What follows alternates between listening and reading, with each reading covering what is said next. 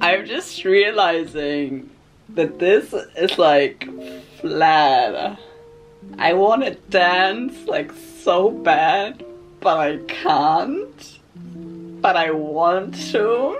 I'm gonna try this. I don't know if it will work. Probably not, but I'm, I'm just gonna try. I think it's gonna work. I am wearing a t-shirt for the first time. Surreal. That is surreal. My heart is beating so fast and I can feel it now because it's like there, you know?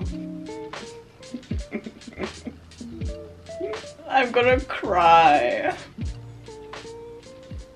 I don't know if I've fully realized because like I can still feel like the compression stuff on my nipples and like obviously I'm still wearing something underneath so I think that is what makes it feel so like unreal like as if it's a binder and it could still be there like I think I need to wear something like really really really tight because then obviously I will see that it is my chest. I'm gonna maybe try to put on like a different shirt. Also today is the first full moon having a flat chest, which feels really special. I also always save this shirt here because I was like, if I ever get top surgery, I want to keep this shirt. Guess what? Guess what happened?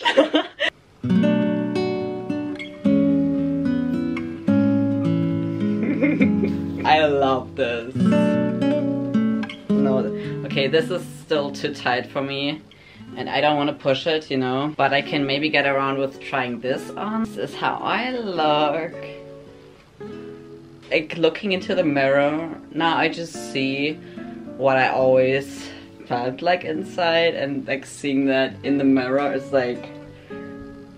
I'm still like looking for the chest. Like in, in the mirror I'm like... I see, I see there is something, but then I have to look again and there's nothing.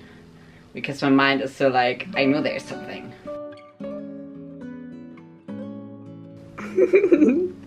I love this.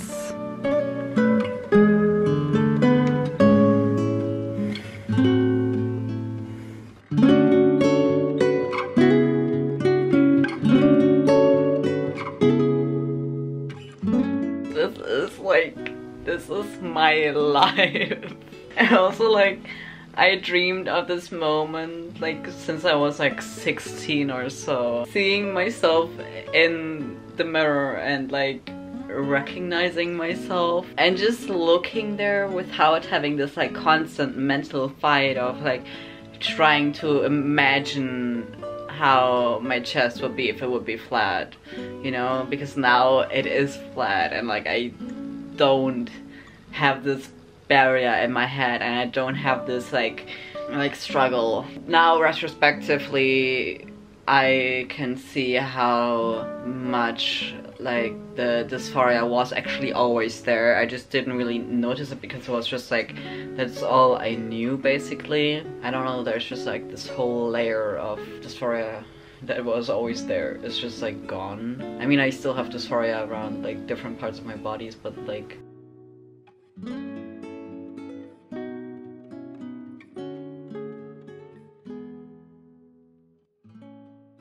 It is Monday today and I'm, I think, 12 days post-op. I feel really good. I had my first therapy session again post-op, which is, it's, it's wild. I really noticed how I was just so much more present in the room.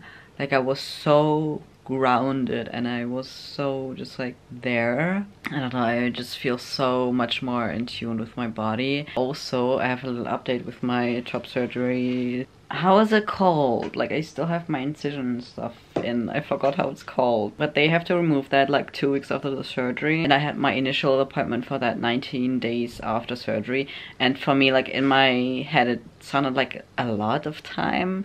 And so I contacted my surgeon again. And now I have my appointment tomorrow, which will be one day before two weeks. Always listen to your intuition with your healing journey and contact your surgeon or your doctor. Please do that. And I also today some Bepanthen cream on my nipples for the first first time and it felt kind of weird because like on my left nipple I didn't feel anything so I just like felt some like skin but I didn't feel it on my nipple. That was kind of weird but on the other side on the right side I have so much more sensation like on the nipple itself. I always imagined it being like a completely hole like a black hole where you just don't feel anything because like a lot of people kind of explain it that way that they just don't feel anything and it feels like you're touching i don't know something else. But for me it wasn't like that. Like i really i can feel how i'm touching here. Like here here I have everywhere I have sensation and I really didn't expect that. And there you also see again like how much it really depends on your own body. And I'm gonna open this now and I'm gonna put some Bepanthen cream on. Also I was listening to, I think it's called The Company and it is so amazing. It was only like three hours or so and it was like T4T, holy cottage core vibe. That is literally what I was looking for and I'm so glad I got that. That is how it looks.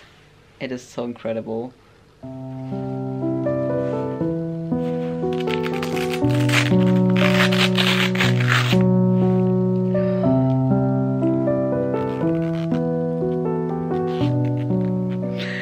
Think this will never get old. I think I will never fully ever get bored of looking at my chest. Like, to be able to hold my hand here. This just hit different while I did this to show you. I can just hold my hand here.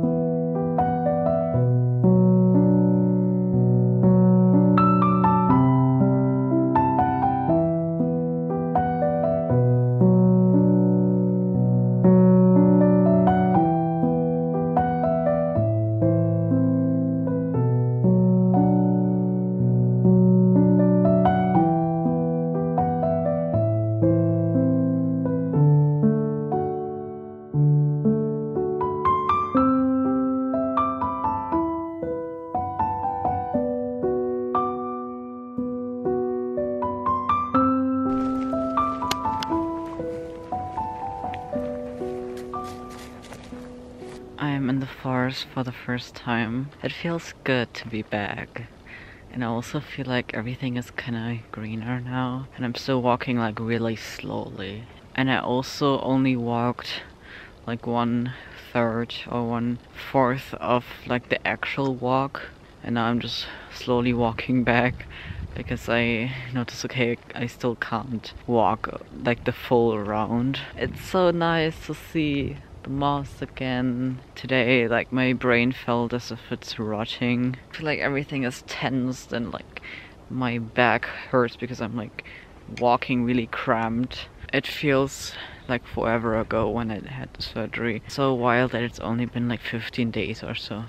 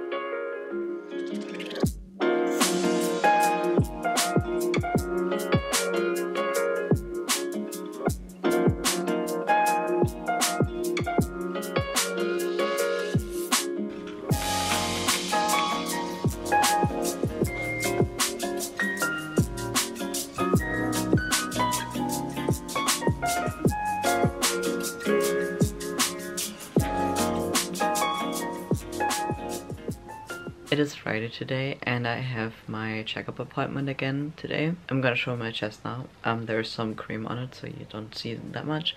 But this is how it looks. Now I massaged it and then I let it dry a little bit. I just put cream on and now I'm gonna put some Bactigras on there and then I'm gonna put some compression there.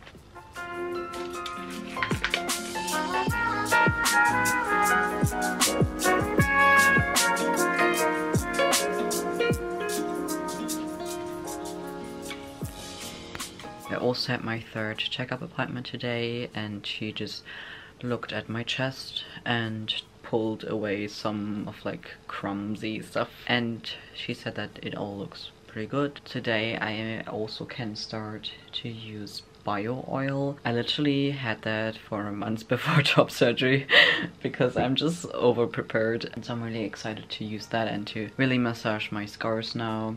I'm gonna show you my scars if you don't want to see them.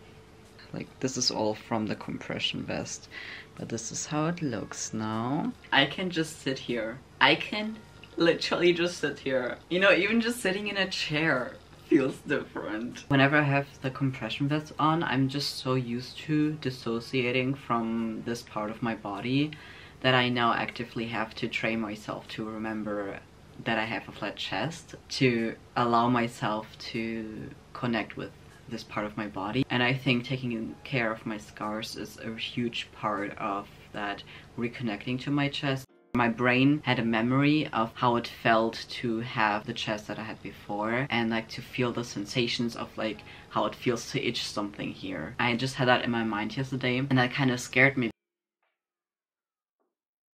My chest is flat. I could literally show you my notebooks from like years before where I like used to like manifest my flat chest and like write down that I want to have the surgery and like print out all the photos and stuff. And now this is my reality. And I literally only started medically transitioning like last year. It feels like so far away. Like I feel like I've always had this voice. I feel like I've always had a flat chest even before I actively like knew that I was trans and even before I had all the vocabulary and all the knowledge about myself, I always felt this disconnect from how I actually feel and from my body. Now I'm at a point where I'm really self-compassionate. Like I have so much love for all the old versions of myself who just try to survive. I'm just so grateful that I kept going. I'm so grateful that I asked for help even. Like that's the first point where it all got better slowly, slowly over years and now I'm here. I just love the way that my scars are not completely even. Just like the imperfections of my scars, I really love that because they kind of like tell the story for me and I totally get that not everyone feels that way about their scars and there's like that's also totally fine if you like can't do that with your scars and can't connect with them in that way. As you can see I'm starting to itch, I need to put oil on my skin. Like there are so many things that I can do now. For my mobility I'm able to do that again. I had a moment a few days ago or like a week ago or so where, where I was really grieving how fast it all is happening because I don't want them to fully disappear because like they just mean so much to me. Now being in this body is the first time that I feel like I have a whole life ahead because it never felt like that when I wasn't with my own body because I wasn't able to because of dysphoria blah blah blah but now I am able to and, and this is like a huge privilege that I'm able to sit here and to talk about my medical transition and that I've had top surgery because that is so not accessible for a lot of people.